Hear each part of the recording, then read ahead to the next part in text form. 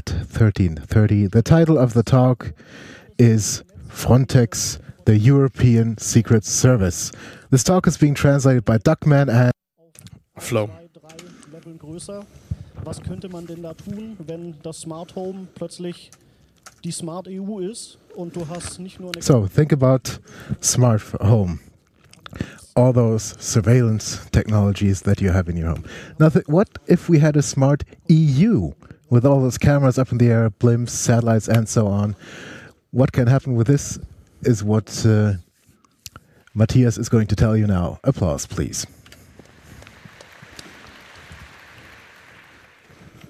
Ja, viele, viele Leute denken, wenn sie Frontex hören, A lot of people think if they hear Frontex, uh, but, a, but a big room um, that is, that is very full and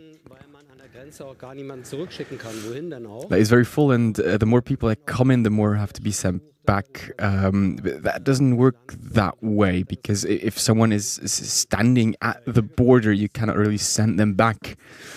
Um, because they might have used a transit country, they, they there might not be a possibility to send them back. And what you see here is the current migratory map from the from Frontex from the website.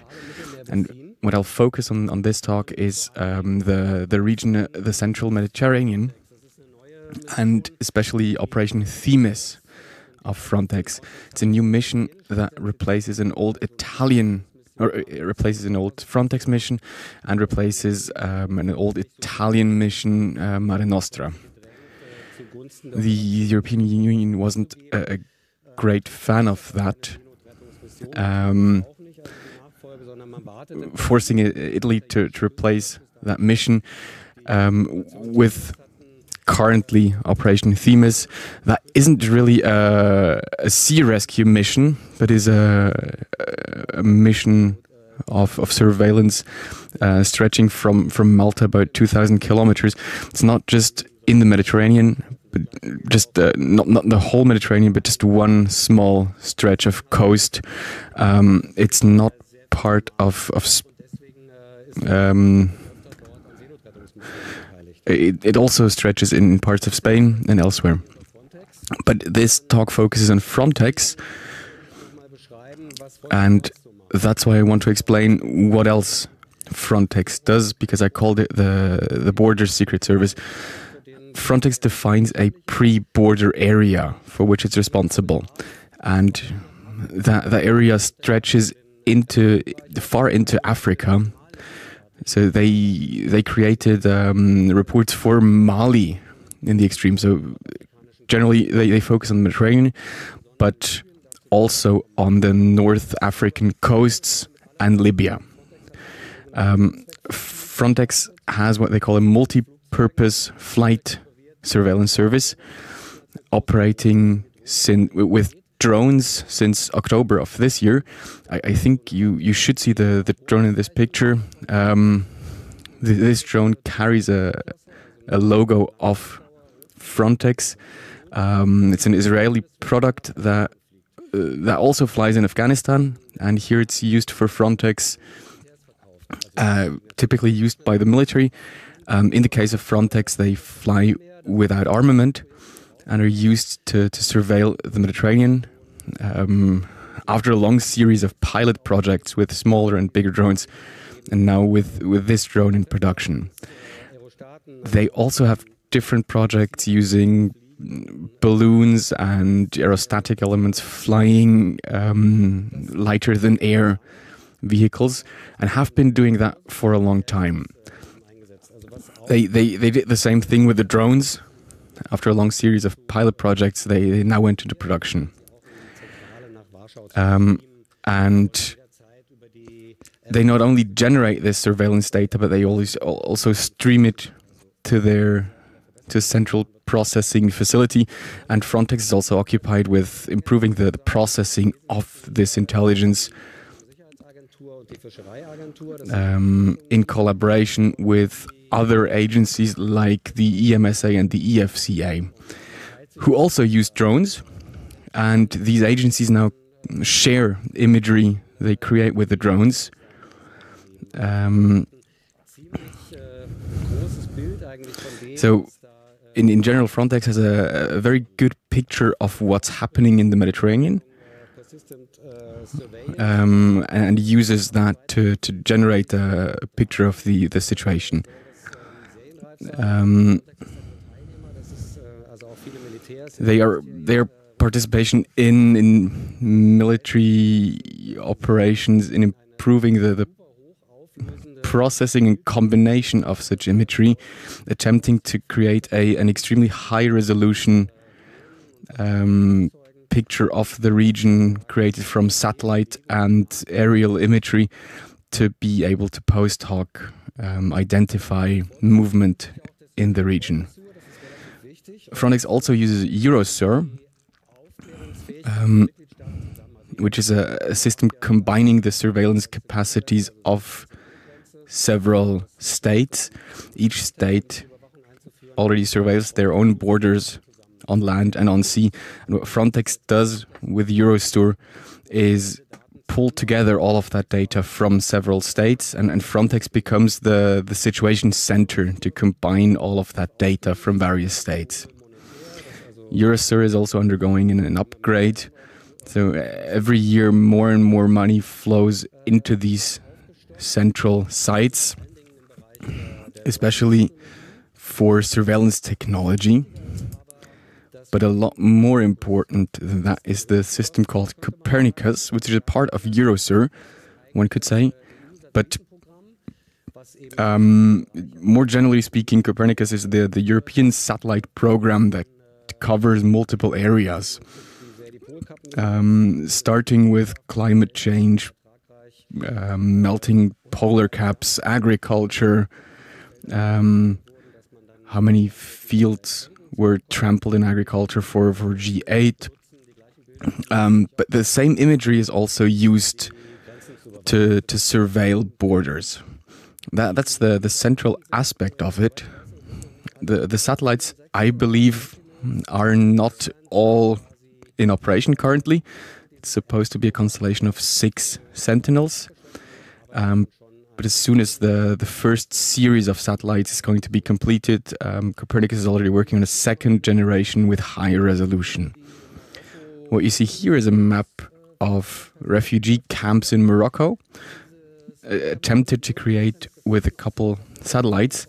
The only place I was able to find this in the internet is a presentation of the EU satellite program, um, the, the program that is responsible to manage and distribute the imagery created with these European satellites.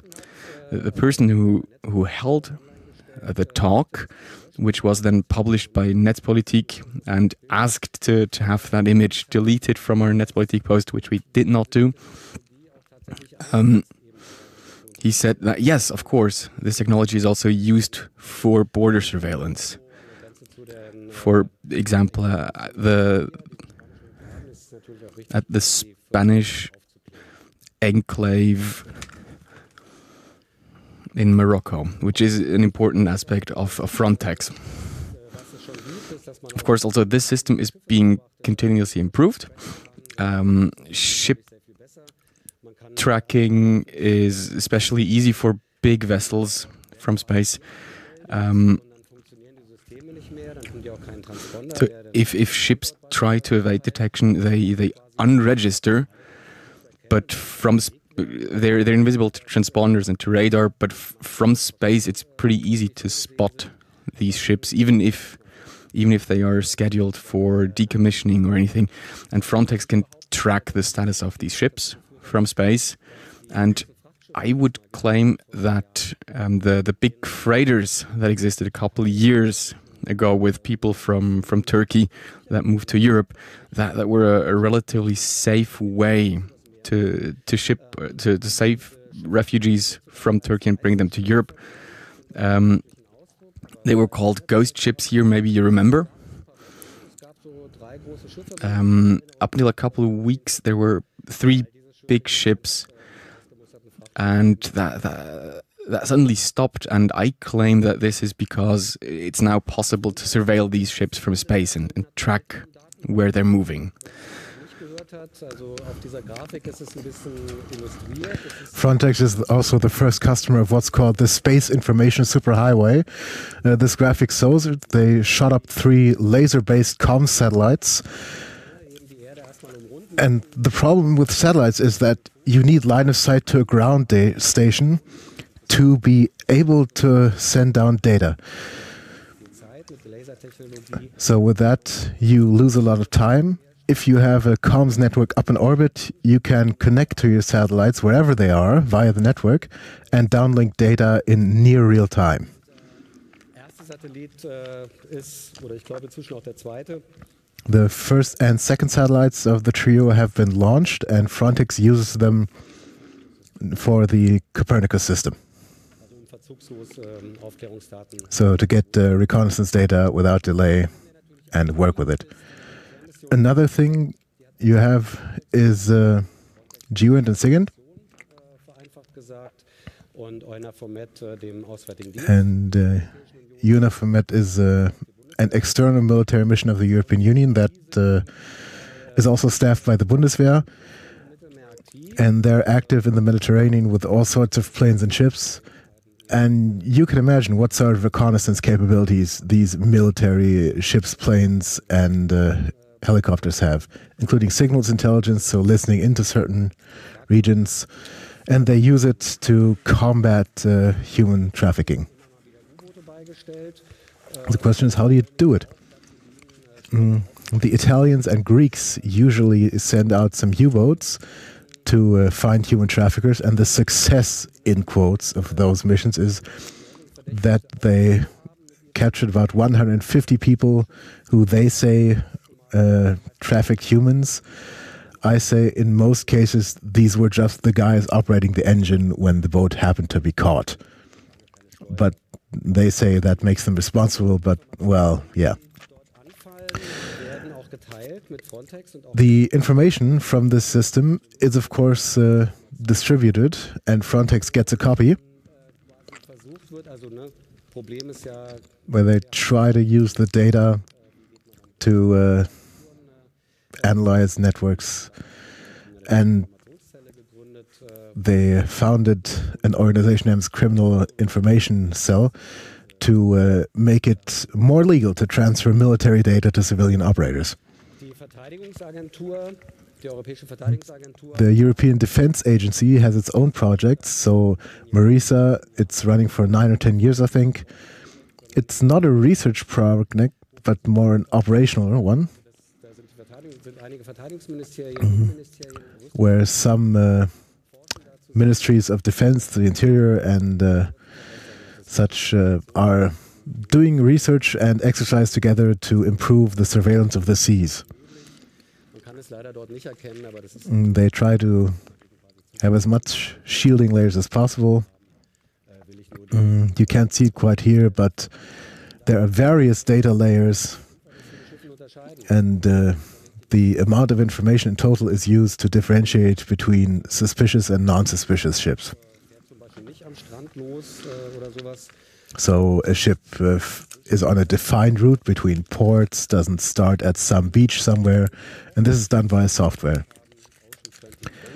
What the European Defense Agency also does is a research program named Ocean 2020, where uh, drones, drone swarms cooperating with uh, maritime assets are used to rein militärische Anwendungen. Ähm, Mm. und hier ist es äh, gather data for military purposes. And here the system is used to get border relevant data. Mm. Tests for this uh, will soon happen. It's you should keep your eyes open. It looks like it will happen uh, on the coast of Sweden. There, there's a Europol mm, HQ, the Center Against uh, the Smuggle of Migrants. Europol ist das Pendant zu Frontex. Das ist sozusagen nicht die Grenzpolizei, sondern die Kriminalpolizei Mm. That is Europol, which is uh, der Mitgliedstaaten. Da the police as opposed to border guards of the EU, and they fling information back and forth.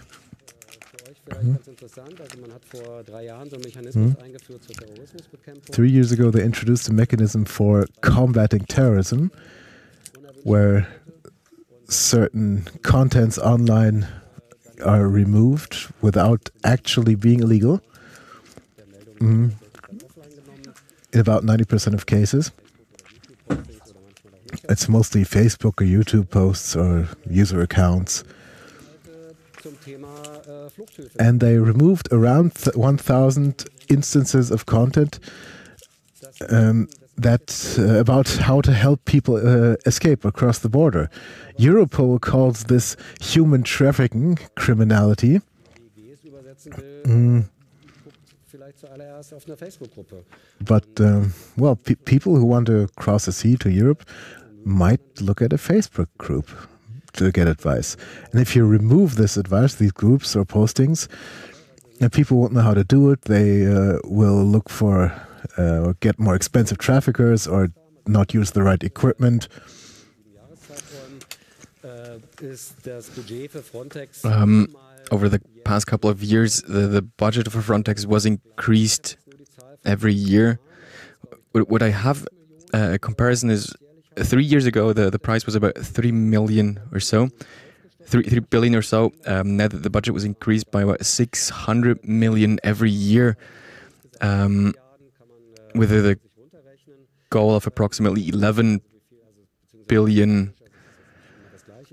Um, with a dynamic budget every year, so 11 billion for the, the years 2021 to 27. werden. Und diese Fonds haben ebenfalls Several other funds of the European Union also have a, um, a multi-year finance volume of 22 billion or so.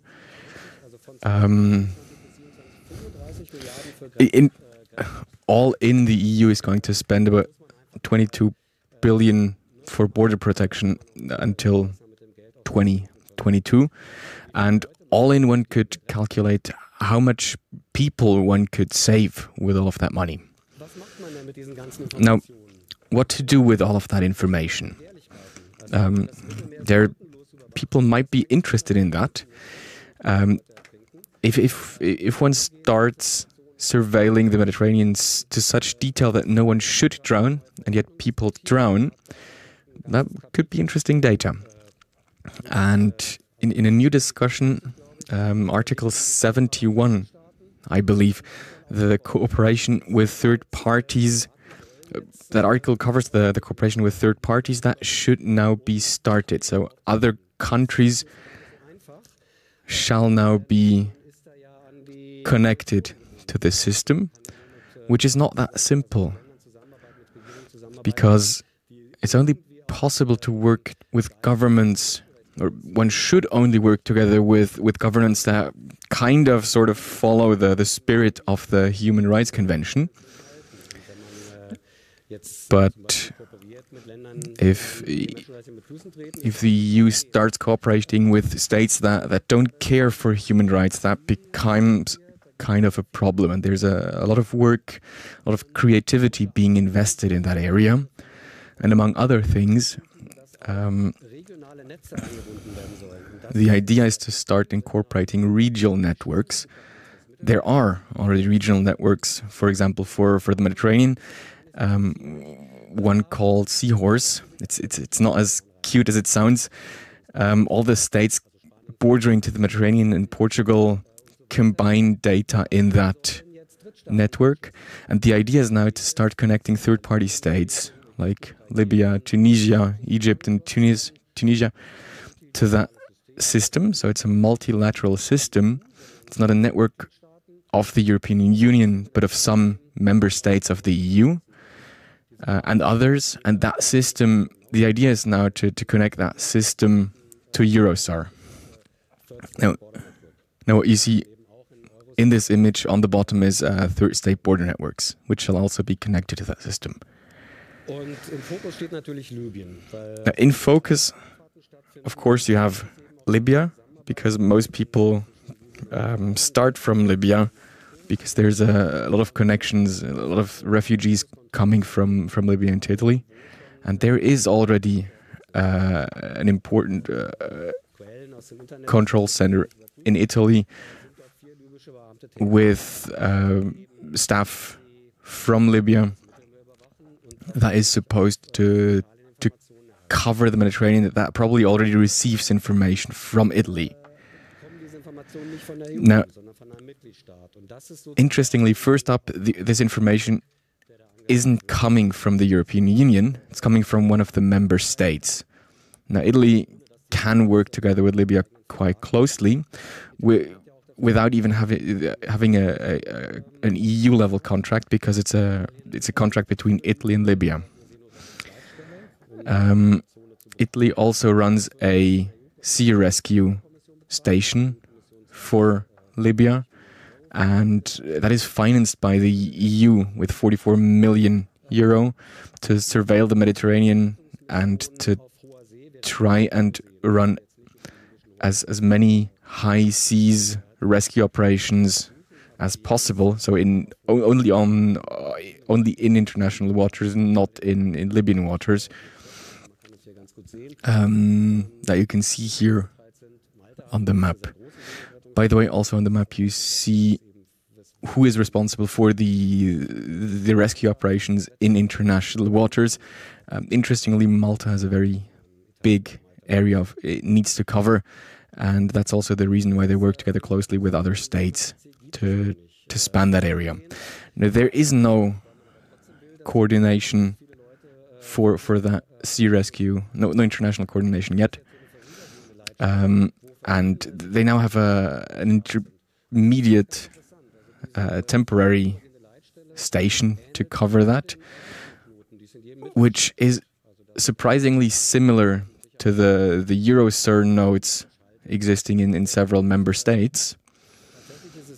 And in, in practice, that means that Libya is now connected to this seahorse system in the, the Mediterranean. So Libya is now the first third party country connected to that system. Um, the the German government even confirmed that this is slated to happen still within this month. Oh, by the way, this sea rescue zone for for for private sea rescue organizations, these are relatively impossible to reach. Um, so far, it has been impossible to to connect that to the the Libyan um, state domain. A lot of work in Libya happens with militias because the, the government doesn't really control the whole of the country, but only subsets of it. So Libya, that the first sub, uh, first third party that's getting connected, to be followed by Egypt and Tunisia, and now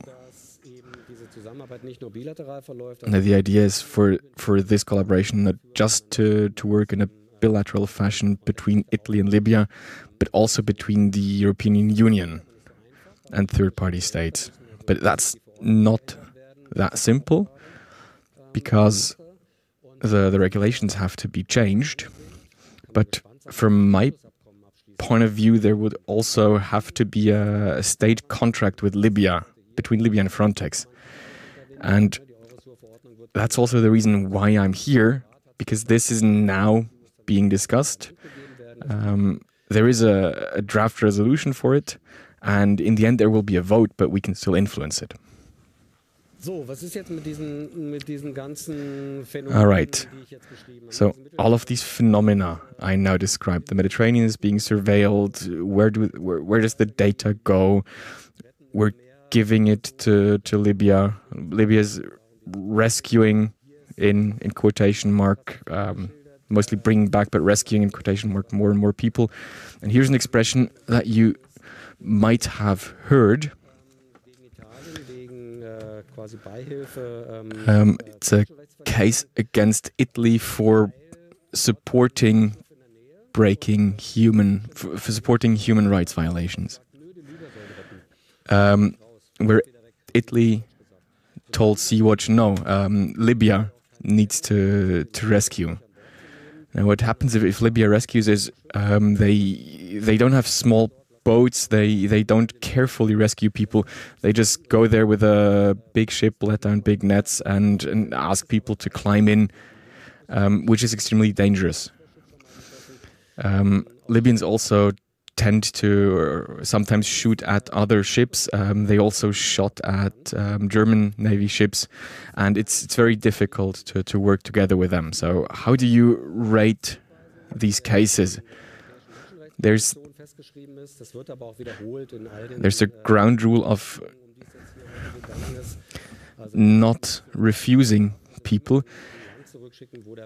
stating broadly that you cannot send back people to a country where they are going to be persecuted. Of course, that would happen in Libya. Um, this picture here was taken on Migrants' Day recently in Libya, um, where people were asked to show their rescue. Um, they fell out of this recreation of a wooden boat and had to show how they climbed onto a rescue vessel to the Libyans demonstrating how they would rescue people. You've also probably seen the, the media pictures of these refugee camps. Now, what I would recommend to you is, is read the Ruya Sangi's article in the Süddeutsche Zeitung. Um, the the situation has further uh, developed to be dangerous. The the state sovereignty, she says, is not only counted right at the border of the country, but also in the, the pre-border zone. So, uh, stating that if someone has special information privileged information and hands that to another party in order for them to conduct an operation, then, for example, Italy then um, is bound by the European um, Declaration on Human Rights and by, by acting on that information violates that declaration. Here, by the way, the the vehicles from EMRK. From, the, the, from my point of view, the the German military is also part of these operations because these vehicles are used in such operations. Finally, you all know that uh, private rescue has been uh, held back. Uh, most ships have been captured in port by local governments. Later, they will also have a talk here on that topic. Mm, ports have been closed to these ships by the entire Italian Ministry of the Interior, Mr. Salvini. You can't really do that, but uh, this was a case of bigger guns make the law. Mm. Those who have fled should probably be distributed fairly. Uh, I, I, don't think it's entirely bad. Uh, it's not entirely an Italian job, uh, it's a European job to save these people. But we dumped it on the Italians, so they had no other way, despite the solution not being optimal.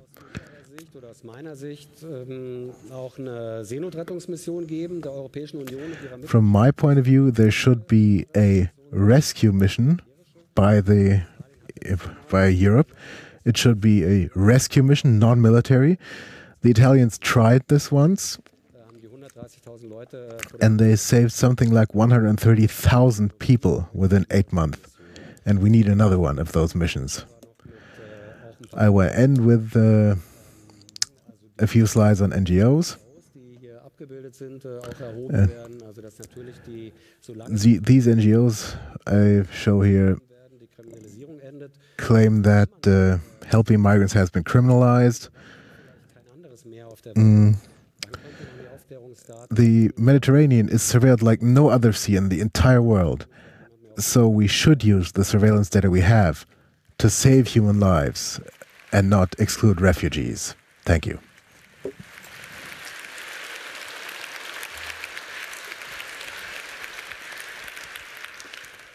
Vielen lieben Dank an Matthias Monroy für diesen überaus exzellenten Vortrag. Äh, wir haben im Saal multiple Das Mikrofone verteilt, sechs an der Stück. Bitte reiht euch da ein. Dann kann ich euch aufrufen, haltet eure Fragen bitte auf Fragen beschränkt und einen Satz. Das wäre super. Haben wir Fragen? Ich sehe hier äh, Front-Mitte-Mikrofon. Äh, hallo, du hast ja erwähnt, dass Eurosur gerade in Verhandlung ist. Ähm, You said Eurosur is in um, Verhandlung gerade? Hat das Parlament schon eine speaking. Position bestimmt oder nur der Rat oder ist es schon im Uh, Dialog? Do you know where Irgendwo eine Seite, Kampagnenseite, the sessions stand? Is there already some? Uh, kontaktieren könnte? so Ich gleich antworten? Gleich antworten? Ähm, also die Eurosur-Verordnung ist in den So, the Eurosur legislation is in a state where the European Council has clarified its position and uh, solidified it, and now this goes in the trialogue uh, of European lawmaking. As far as I know, there's no campaign website, ein Gap, den man füllen and uh, that's a gap that needs to be filled. Ganz viel Aktivität. I mean, th- there's a lot of activity in that area, you know, rescue. Also auch jetzt äh, äh, Rettern, äh, deren Unterstützerinnen, Unterstützer. by the rescuers themselves and their supporters. sozusagen die Diskussion der Eurosur- But uh, especially here, discussion, discussing the whole Eurosur thing, Eurosur-Verordnung, sondern früher gab es eine Frontex-Verordnung und eine Eurosur-Verordnung. which technically isn't a Eurosur thing, uh, because uh, before there was Frontex and Eurosur, and now they're being more or less stuck together. And that's the problem. And f- against that, we need a campaign website or a blog or something where we collect information about it. Another question at the back right Haben wir noch weitere Fragen? Wenn ihr am Mikrofon steht, hebt eure Hand. Are there more questions? Do are we have questions questions from from the the internet? internet? Äh, ja, und zwar eine Frage wird gestellt bezüglich der, der Datenzusammenarbeit. Äh, Zusammenarbeit, äh, There's one question about. Äh, the working together with the dates, with the data. And the question is, where would you have to ask for data? Die Zusammenarbeit, Also, also, so wie ich das verstehe, wo müsste man einfordern, dass die Daten an die, äh, an die Seenotretter an die ging. Seenotrettung weitergegeben werden? So the question is, where would you have to ask for data for the rescuers? Frontex einfordern, wobei die ja selber auch um, äh, You should be able to get this data from Frontex. Then again, they themselves say they don't have a complete copy of it. Every year they do a report on the relevant situation. And uh, once the Libyans have their coordination center and uh, all the other ancillary systems are up and running, uh, then they will be getting data from Frontex. So in that case, you could go one level up, the European Commission, and petition them to release that data. Genauer kann ich nicht sagen. Uh, I can't be more precise on that. Noch eine weitere Frage aus dem Internet? Any more questions from the internet? Haben wir sonst noch Fragen aus dem Saal? Any more questions? Da gibt es eine Frage bitte an das Mikrofon. Und If you have a question, please come to the microphone. Uh, Gibt es eigentlich private Seenotrettung aus den nordafrikanischen Ländern?